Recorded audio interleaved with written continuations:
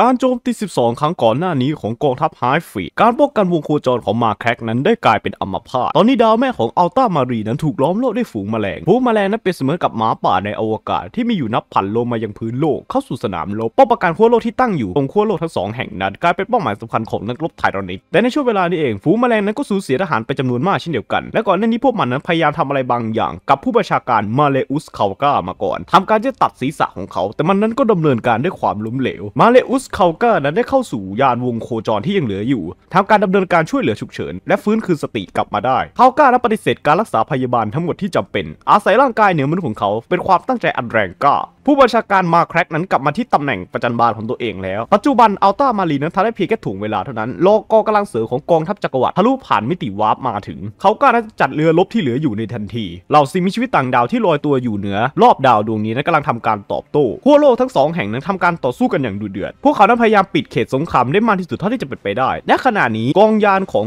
เหล่าไทรานิดนั้นเริ่มเคลื่อนไหวอย่างกะทันหันเคลื่อนตัวออกจากวงโคจรของมาแครกครั้งใหญ่อ้อยออกไปยังชายขอบของกาแล็กซี่แต่สัตว์ต่างดาวที่อยู่บนภาคพื้นนั้นก็กำลังทำการโจมตีด้วยสมองที่ว่างเปล่า ยังทำการโจมตีฐานที่มั่นอย่างต่อเนื่องไทรานิดนั้นเป็นเพียงต้องการล่อกองยานมนุษย์ที่เหลือออกจากวงโคจร เพื่อป้องกันไม่ให้พวกมันนั้นรบกวนการลุกคืบของกองกำลังภาคพื้น Hive Mind นั้นได้แสดงความเคารพต่อแม่ทัพฝ่ายมนุษย์ที่สามารถรอดตายมาได้ จากการตัดศีรษะ แม้ว่า Calgar จะทราบดีว่านี่อาจจะเป็นกับดักของฝูงแมลงอีกก็เป็นได้แต่เขานั้นก็ยังคงยอมรับความท้าทายที่จะเกิดขึ้น พวกเขาเองก็ได้มีแผนตอบโต้อยู่ในใจแล้ว และเขาน่าจะทำการใช้ประโยชน์จากมัน นอกจากนี้ยังเป็นการซื้อเวลาให้กองกำลังเสริมของจักรวรรดินั้นมาถึงอีกด้วย จากนั้นเองครับ Calgar ก็ได้นำกองยานสุดท้ายที่เหลืออยู่ในมือของเขาทำการไล่ล่าศัตรูติดตามฝูงแมลงไปตลอดทาง มาถึงบริเวณเนบิวล่ายักษ์ใส่เซ่แน่นอนว่าที่นี่นั้นมีกองยาน Tyranid อีกฝูงหนึ่งกำลังซุ่มโจมตีอยู่ เปิดการโจมตีกองทัพมนุษย์จากฐานด้านหลังและในจังหวะนั้นเองก็มีกองยานจาก Segmentum Tempestus ที่นำโดยหลอดผู้บัญชาการ Rath พร้อมยานประจันบานกำลังเสริมของกองทัพจักรวรรดิมากกว่า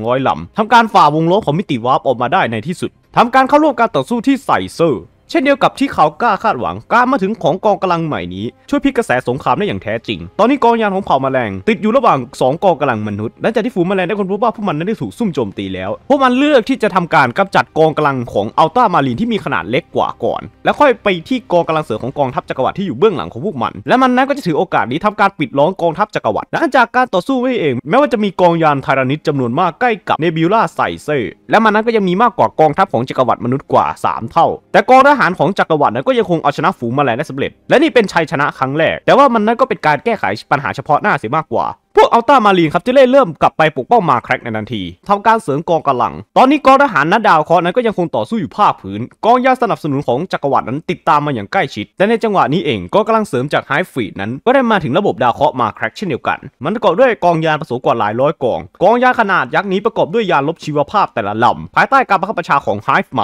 วกมันนั้นพุ่งตรงไปหาศัตรูในเวลาเดียวกันทำการขัดขวางไม่ให้พวกเขานั้นทำการสนับสนุน ในเวลานี้เองการโจมตีและการป้องกันรอบๆป้อมปราการขั้วโลกนั้นใกล้มาถึงจุดเดือดแล้ว ในสนามรบณป้อมปราการอาร์กติก เหล่า Swarmlord นั้นได้มาถึงเป้าหมายของพวกมันก็คือ การกำจัดผู้บัญชาการของกองร้อยที่ 1 Ultramarine ที่ชื่อ Saul Invictus ซึ่งตอนนี้ Saul นั้นพร้อมด้วยนักรบ Terminator และ Ultramarine ผู้ช่วยของเขานั้นทำการต่อสู้การรุกรานของเหล่า Tyranid และได้รับความช่วยเหลือจากการป้องกันของเครื่องจักรไททันแต่ในที่สุดแล้วแนวป้องกันนั้นก็ได้ถูกฝูงแมลงที่ดุร้ายนี้ทะลุผ่านมาได้เราผู้พิทักษ์ที่เป็นมนุษย์นั้นถูกบังคับให้กลับเข้าไปยังส่วนลึกของป้อมปราการ ที่ถูกปิดล้อมโดยไทรนิดสถานการณ์นั้นมีความสำคัญอย่างยิ่งหลังจากพูดคุยกันสั้นๆนะครับผู้บัญชาการนั้นจึงนำยานประจันบานของเขานั้น หันกลับไปไปสกัดเหล่าไทรนิดกลุ่มใหญ่เหล่านี้ และทำหน้าที่เป็นเหยื่อล่อดึงดูดความสนใจของไฮฟรีดและให้ความคุ้มครองกับอัลต้ามารีนทำลายฝูงศัตรูต่างดาวทั้งหมดและนี่ก็คือภารกิจคูเซตส่วนตัวของเขาภายใต้คำสั่งนี้เอง กองยานของจักรวรรดิที่กำลังต่อสู้กับกองกำลังของไทรนิดที่มีมากกว่ากองกำลังของตนเองนั้น แม้ว่าพวกมันนั้นจะถูกทำลายไปกี่ลำก็ตาม แต่ก็ยังคงมียาลบชีวภาพจำนวนมากเข้ามาเติม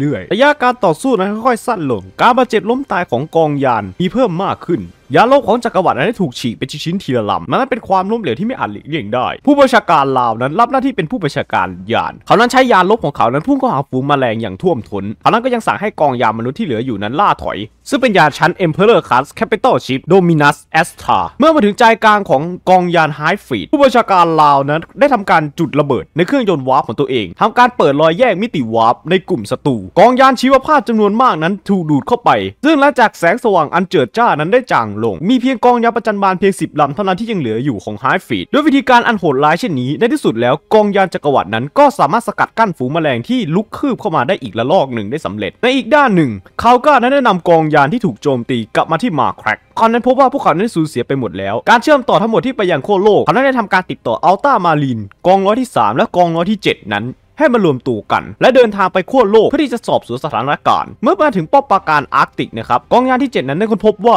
สิ่งที่ปรากฏต่อหน้าพวกเขานั้นก็คือสนามรบที่เหมือนกับไฟ พวกเขานั้นชี้ไปยังซากศพที่เน่าเปื่อยของกองทัพจักรวรรดิและกองทัพไทรานิตที่ทำการปกคลุมทั่วทั้งแผ่นดิน ป้อมปราการและอาวุธหนักต่างๆ นั้นกลายเป็นกองขยะที่ถูกเผาควันนั้นได้ลอยขึ้นสู่ท้องฟ้า แสดงให้ผู้คนเห็นถึงการต่อสู้อันดุเดือดที่เกิดขึ้นเมื่อไม่นานมานี้ กองร้อยที่ 7 นั้นมีจิตใจที่หนักอึ้งพวกเขานั้นได้เริ่มรุกเข้าสู่ส่วนกลางของป้อมปราการค้นพบร่องรอยการต่อสู้ระหว่างศัตรูกับกองทัพเดียวกัน ในช่วงเวลานี้เอง พวกเขานั้นค้นพบว่าได้มีผู้พิทักษ์บางคนที่รอดชีวิตมาได้ นักรบผู้แข็งแกร่งเหล่านี้ยังคงปฏิบัติหน้าที่อยู่ในตำแหน่งของพวกเขา กองทัพ Tyranid ที่เหลืออยู่ในปัจจุบันนั้นได้รุกเข้าไปยังทางเดินใต้ดินของป้อมปราการแล้ว และเพื่อที่จะทำลายล้างศัตรูเหล่านี้ กองร้อยที่7นะครับได้เข้าสู่พื้นที่ใต้ดินค้นพบทางเดินในทันที ได้มีศัตรูมากมาย ในขณะเดียวกันกองร้อยที่3ก็ได้ทำการลงจอดที่อาร์กติกอย่างไม่ราบรื่นนัก พวกเขานั้นแทบจะถูกโจมตีในทันทีที่ก้าวสู่สนามรบสัตว์ประหลาด Tyranid หลายร้อยตัวนั้น กู้กันออกมาจากทางเดินอันมืดมิดในป้อมปราการอาร์กติก มุ่งเข้าสู่ Space Marine โดยตรง โชคดีที่ทีมของสเปซมารีนั้นมีอาวุธพร้อม เพราะที่ทำสงครามขนาดใหญ่ได้ พวกเขานั้นทำการสกัดกั้นการโจมตีอันดุร้ายของศัตรูด้วยค้อนสงคราม พวกเขานั้นกำลังรอการสนับสนุนทางอากาศของยาน Thunderhawk ที่เพิ่งมาถึง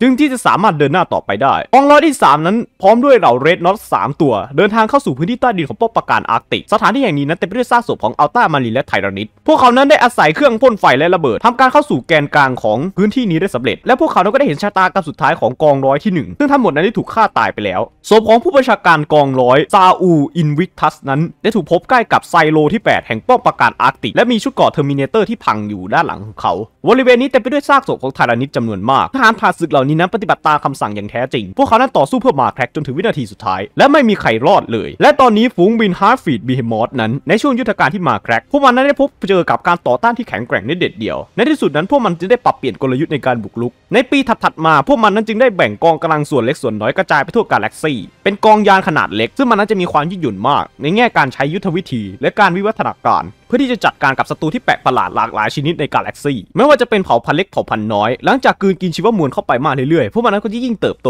ในอีกไม่กี่ทศวรรษข้างหน้ากองกำลังทั้งหมดในกาแล็กซี่นั้นต้องเผชิญหน้ากับภัยคุกคามของไทรานิดขนาดใหญ่อยู่บ่อยครั้ง แต่อาณาจักรมนุษย์เองก็ผ่านการต่อสู้ครั้งนี้เช่นเดียวกัน พวกเขานั้นได้เรียนรู้เพิ่มเติมที่จะเผชิญหน้ากับศัตรูสัตว์ประหลาดเหล่านี้นั้นมาจากก้นเบื้องของกาแล็กซี่แม้มันน่าจะเต็มไปด้วยความโลภและดุร้าย แต่พวกมันนั้นก็ไม่ได้มีเพียงแค่ยุทธวิธีในการวิ่งและออกอาละวาดเท่านั้นสัตว์ร้ายพวกนี้ไม่มีวันตาย เมื่อไฮฟ์ไฟนั้นทำการประเมินสถานการณ์สงครามแล้ว หากพวกมันคิดว่าผลตอบแทนทางชีวมวลนั้นไม่คุ้มค่ากองกำลัง Tyranid นั้นก็จะล่าถอยเพื่อเป้าหมายที่ง่ายกว่า โดยต่อมาพวกมันนั้นจะทำการโจมตีดาวเคราะห์ที่ถูกควบคุมโดย Mechanicus ซึ่งระหว่างที่กลุ่ม Mechanicus ต่อสู้กับการรุกรานของเหล่า Tyranid นั้น ในเหล่าผู้ศรัทธาในพระเจ้าแห่งเครื่องจักรนั้นก็ได้เดินผ่านบริเวณอนุสรณ์สถาน ที่เรียกว่า Promethium Refinery พวกเขานั้นทำการปล่อยสารไวไฟจำนวนมากออกสู่ชั้นบรรยากาศโลกทำให้ทั่วทั้งท้องฟ้านั้นลุกเป็นไฟทำการเผา Tyranid ทุกตัวที่มุ่งเข้าสู่ขั้วโลก ซึ่งวิธีการเช่นนี้เองสามารถหยุดการรุกคืบของฝูง Tyranid ได้สำเร็จฝูง Hive Fleet นั้นก็ได้มาถึงจุดสิ้นสุดของสติปัญญาของมันแล้วในที่สุดด้วยความหิวโหย พวกมันนั้นจึงเลือกที่จะจากไป สถานการณ์เหล่านี้ล้วนแสดงให้เห็นว่าตราบใดที่แนวหลังยังคงสู้ต่อไป